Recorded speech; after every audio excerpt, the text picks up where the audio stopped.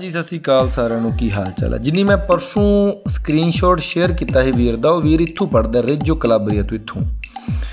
ਤੇ ਅਸੀਂ ਪੜ੍ਹਾਉਣ ਵਾਲੇ ਇੱਥੋਂ ਪੜ੍ਹਾ ਰਹੇ ਹਾਂ, ਸੋ ਅਗਰ ਕਿਸੇ ਨੇ ਵਾਕਈ ਹੀ ਪੜ੍ਹਨਾ ਆ, ਤੇ ਡਿਸਟੈਂਸ ਮਾਇਨੇ ਨਹੀਂ ਰੱਖਦਾ, ਦੇਖੋ 1203 ਕਿਲੋਮੀਟਰ ਲੱਗਦੇ ਆ ਸਾਡੇ ਤੋਂ ਉਸ ਵੀਰ ਤੱਕ। ਉਸ ਵੀਰ ਨੇ ਸਾਡੇ ਕੋਲ ਐਡਮਿਸ਼ਨ ਲਿੱਤਾ ਸੀ ਤੇ ਮਹਿਜ ਉਹਨਾਂ ਨੂੰ ਹੋਏ ਸੀ ਇਟਲੀ ਵਿੱਚ ਆਏ।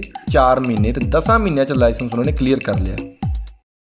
ਇਹ ਦੇਖੋ ਵੀ ਇਸ ਵੀਰ ਨੂੰ ਇਟਲੀ ਵਿੱਚ ਆਏ ਹੋਏ ਹਜੇ ਤੱਕ 4 ਮਹੀਨੇ ਹੋਏ ਸੀਗੇ। ਤੇ ਮੈਨੂੰ ਅੱਜ ਵੀ ਯਾਦ ਆ ਵੀਰ ਦਾ ਮੈਸੇਜ ਆਇਆ ਫੋਨ ਆਇਆ ਫਿਰ।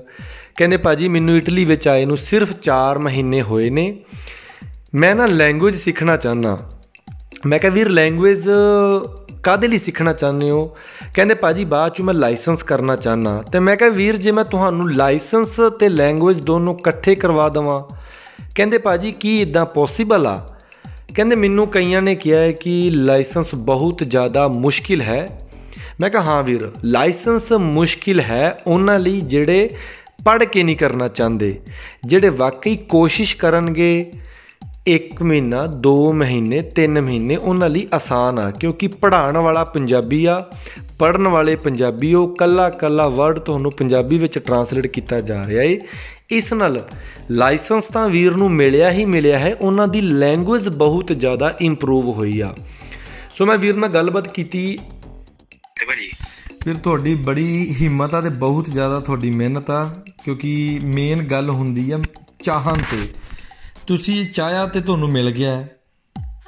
ਹਾਂਜੀ ਹਾਂਜੀ ਭਾਜੀ।